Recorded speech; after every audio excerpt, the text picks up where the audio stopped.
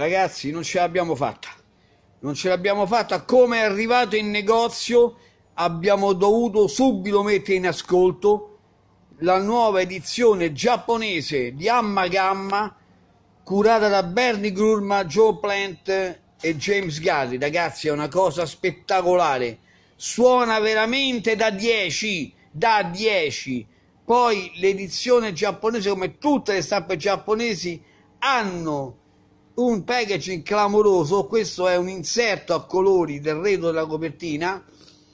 Inserto interno con i testi qui giapponesi. Vediamo lo faccio tutto in tempo reale ragazzi scusate.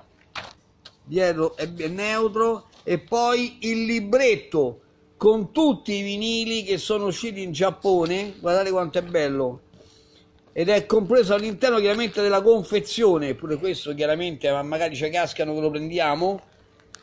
Tutti i dischi dei Pink Floyd giapponesi. Guardate quanto è bello quanto è bello. Allora copie limitatissime le trovate tutte su www.venissec.com copertina ovviamente apribile. 180 grammi ma secondo me è un 200 veramente veramente una grandissima edizione. Andate di corsa a prenderlo. Amma Gamma Pink Floyd Made in Japan. Dai